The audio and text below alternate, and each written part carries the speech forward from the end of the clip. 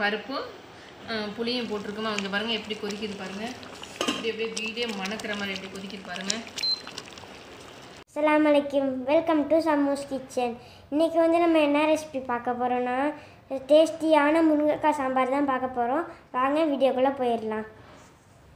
முருங்கைக்காய் சாம்பார் பண்ணு.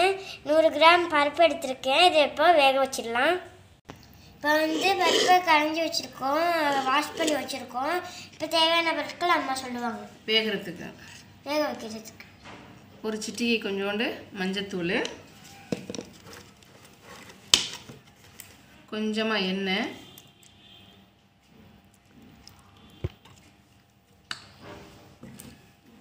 கொஞ்சோண்டு பெருங்காயம் ஒரு சிட்டிகை பெருங்காயம். போட்டு நம்ம தண்ணி ஊற்றி இப்போ பருப்பை வேக வச்சுக்க போகிறோம் தண்ணி ஊற்றியாச்சு பருப்பு முழுகிற அளவுக்கு. இப்போ மூடிட்டு வெயிட் வச்சுட்டு வெயிட் போட்டுட்டு இப்போ அடுப்பில் வச்சிடலாம்.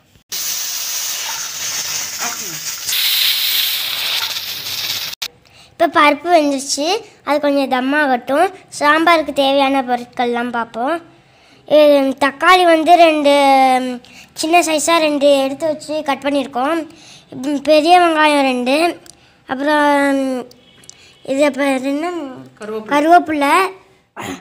முருங்கைக்காய் ரெண்டு. ரெண்டு மிளகா. பச்சை மிளகாய் பச்சை மிளகா. அடுத்தது வந்து புதினா. கொத்தமல்லி. கொத்தமல்லி. லெமன் சைஸுக்கு புளி ஊற வச்சுருக்கோம். அடுத்தது வந்து மொ- மிளகாத்தூள் சாம்பார் தூள் அப்புறம் வந்து உப்பு. வந்து கடுகு பட்டை மிளகா கொஞ்சம் கிள்ளி வச்சுருக்கோம் ரெண்டு. தாளிக்கிறது தாளிக்கிறதுக்கு. ஜீரகம். அவ்வளோதான் தேவையான பொருட்கள். அப்புறம் வந்து மிளகா அது பேர் என்ன? மஞ்சத்தூள். மஞ்சத்தூள் எண்ணெய். அவ்வளோதான் முடிஞ்சு போச்சு சாம்பாருக்கான தேவையான பொருட்கள். இப்போ சாம்பார் எப்படி பண்ணலான்னு பார்க்கலாம் வாங்க. இப்போ தேவையான பொருட்கள்லாம் பார்த்துட்டோம். இப்போ எப்படி சாம்பார் செய்கிறதுன்னு பார்க்கலாம். இப்போ அடுப்பை ஆன் பண்ணியாச்சு. ம். கடாய் இப்போ சூடாயிடுச்சு எண்ணெய் ஊற்றிக்கலாம் தேவையான அளவு எண்ணெய் ஊற்றிக்கலாம்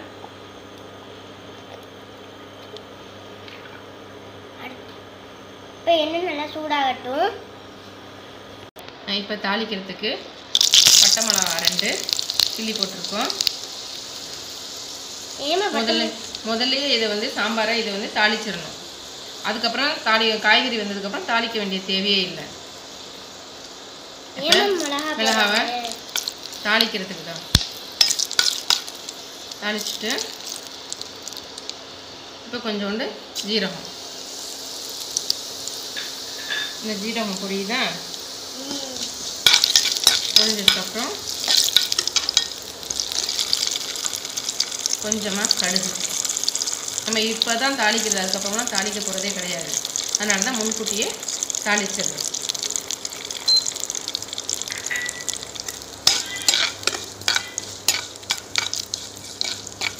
நல்லா கடுகு பொரிஞ்சோன்னே.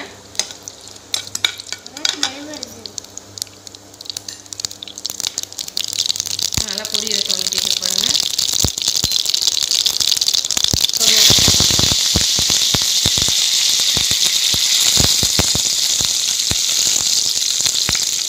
கருவேப்பிலை போட்டு ரெண்டு பச்சை மிளகாய். பருப்போடு சேர்த்து வேக போடலாம். வேக போட்டுனா உரப்பாக இருக்கும். அதனால் இந்த பச்சை மிளகாய் தாளிக்கிறது கொஞ்ச நேரம் வதங்கிக்கோங்க. தாளிக்கக்குள்ளே பச்சை மிளகாய் பச்சை மிளகாய் எல்லாம் போட்டு நல்லா வாசமாக இருக்கும். உண்மையிலே வாசம் வருது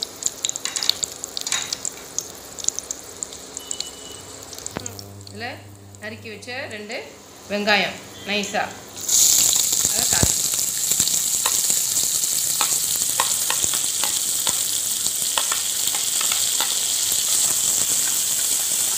அதெல்லாம் பச்சை மிளகாய் வாடவே இவ்வளோ அழகாக நல்லா சூப்பராக இருக்கும்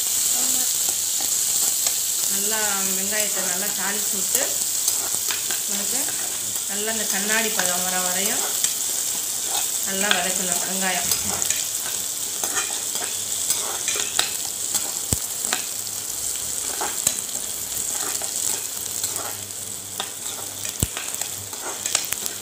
வெங்காயம் வதக்கிட்டு நறுக்கி வச்ச ரெண்டு தக்காளி.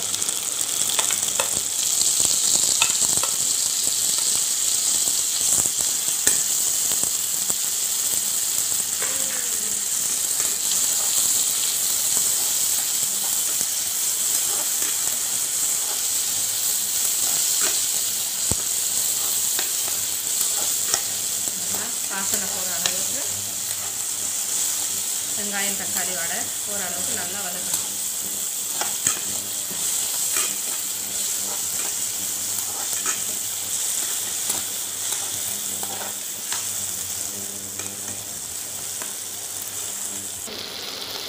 தேவையான பொருட்கள் கொஞ்சம் மஞ்சத்தூள்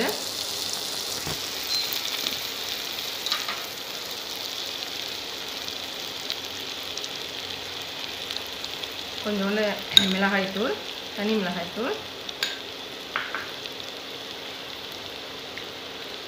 பாருங்கள் சாம்பார் பொடி. சாம்பார் பொடி ரெண்டு டேபிள் ஸ்பூன் போடணும். அப்போ தான் நல்லா வடையாக இருக்கும். ரெண்டு எடுத்து வச்சுருக்கேன். ரெண்டு டேபிள் ஸ்பூன் போட்டுடணும்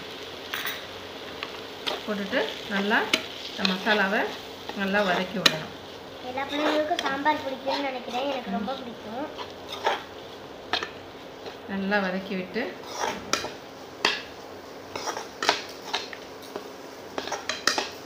வேகிற வரையும். தக்காளி சாம்பார் இது வெங்காயம் பச்சை மிளகாய் இதெல்லாம் பாருங்கள் இந்த மசாலா அந்த கலந்துருச்சு. அதுக்கப்புறம் என்னம்மா பண்ணணும்? அதுக்கப்புறம் முருங்கைக்காய் போடணுமா முருங்கைக்காவா? ம்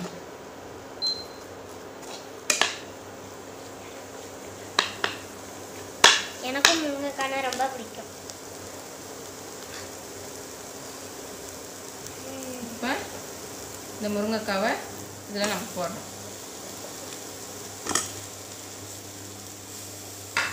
போட்டுட்டு பாருங்கள் இந்த மசாலா ஃபுல்லாக இந்த முருங்கைக்காவில் நல்லா இறக்கி விட்டுறணும். அடுப்பு சிம்மில் வச்சுக்கோங்க. நல்லா பெரட்டி விட்டுட்டு மசாலா ஃபுல்லாக இந்த முருங்கைக்காவில் எப்படி ஆகுது பாருங்கள் இவ்வளோ சூப்பராக மணக்குது? அதுதான் மணக்க மணக்க சாம்பார். நம்ம தேவையான உப்பு. கொஞ்சோண்டு உப்பு. உப்பு போட்டு ஒரு பெரட்டு.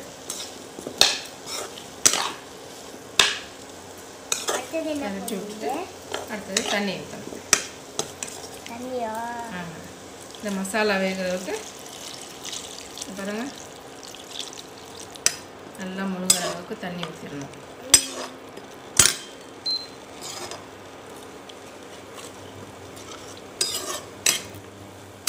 தண்ணி ஊற்றி வேக வச்சிடணும். தண்ணி விட்டு மூடி போட்டு மூடிடலாம் இப்போ முருங்கைக்காய் வந்துச்சா? பார்ப்போம் பாருங்கள் நல்லா இப்போ சாம்பார் கொதிக்குது. இப்போ நம்ம முருங்கைக்காய் வெந்துச்சா? அப்படின்னு எடுத்து பார்ப்போம். ம் நல்லா நல்லா இருக்கு பாருங்கள் நல்லா வெந்துடுச்சு. இப்போ பருப்பு வெந்துச்சான்னு ரெ பருப்பை ரெடி பண்ணுவோம். இப்போ பருப்பு வெந்துருச்சான்னு பார்ப்போம். வாங்க பாருங்கள் நல்லா வெந்துருச்சு. ரொம்ப நம்ம மைய வேக வைக்கக்கூடாது. இதுலேயே நம்ம வந்து பெருங்காயம் மஞ்சத்தூள் எண்ணெயெல்லாம் போட்டு வேக வச்சுன்னு பாருங்கள் இந்த மாதிரி இருக்கணும் பருப்பு. உங்களுக்கு ரொம்ப மைய வேக வச்சுன்னா சாம்பார் நல்லா இருக்காது. என்ன? கொஞ்சம் நம்ம கரண்டியால் கொஞ்சம் மசிச்சுக்கணும்.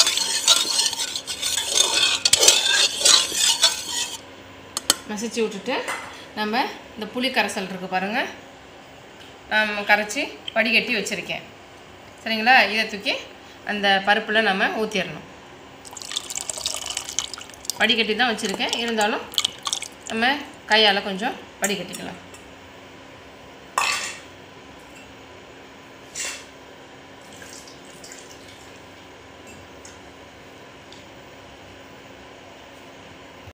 இப்போ கொதிச்சிட்டு இருக்கிற இதை பாருங்கள் முருங்கைக்காய் இதில் இந்த பருப்பை தூக்கி அதெல்லாம் ஊற்றிடும்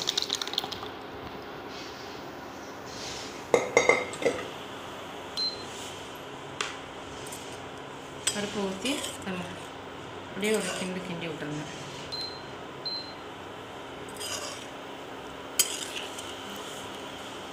பாருங்கள் எவ்வளோ அழகாக ஹோட்டல் சாம்பார் மாதிரி சூப்பராக நல்லா மணக்க மணக்க இருக்கும். பிள்ளைங்களுக்கு நெய் ஊற்றி கொடுத்தா சூப்பராக சாப்பிடுவாங்க. நம்ம பருப்பு ஊற்றிட்டு கொஞ்சம் நம்ம மூடி போட்டு ஒரு ரெண்டு நிமிஷம் நம்ம மூடிடணும். இப்போ வாங்க இந்த பருப்பு அஹ், புளியும் போட்டிருக்கோமா. இங்கே பாருங்கள் எப்படி கொதிக்குது பாருங்கள் இப்படி அப்படியே வீடே மணக்கிற மாதிரி எப்படி கொதிக்குது பாருங்கள் நம்ம என்ன பண்ணிட்டுருக்கோம் சிம்மில் வச்சுட்டு மீடியமில் வச்சுருங்க. மீடியமில் வச்சுக்கிட்டு கொஞ்சோண்டு மேலே கருவேப்பிலை. கருவேப்பிலை எதுக்கு போடுறீங்க? நல்லா வாடையை சூப்பராக இருக்கும். அதனால தான் கருவேப்பிலை போடுறோம் ஓகே. அதுக்கப்புறமேல் கொஞ்சமாக கிள்ளி வச்ச. கொத்தமல்லி. இது ரெண்டுமே போட்டால் தான் வடை இருக்குமா? ஆமாம் கொத்தமல்லி போட்டு நம்ம கொஞ்சம் கிண்டி விட்டு கொஞ்சம் மூடி விடுங்க பாருங்கள் ஹோட்டலில் சாம்பார் மாதிரி அப்படியே பாருங்களேன். எப்படி இருக்குன்னு பார்க்குறதுக்கு நல்லா டேஸ்ட்டாகவும் சுவையாகவும் இந்த பருப்பு முழுசு முழுசாக கொஞ்சம் லைட்டாக இருக்குது பாருங்கள் இதை ஊற்றி பிள்ளைங்களுக்கு நெய் ஊற்றி கொடுத்தா நல்லா ருசித்து ஆச்சு சாப்பிடுவாங்க.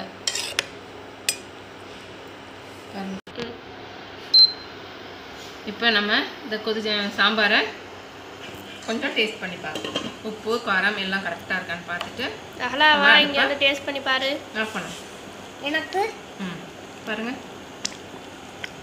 நல்லா இருக்கா? ம் நல்லா இருக்கு. எப்படி இருக்கு? செமையா இருக்கு. இன்னும் கொஞ்சம் தாங்க. ம்.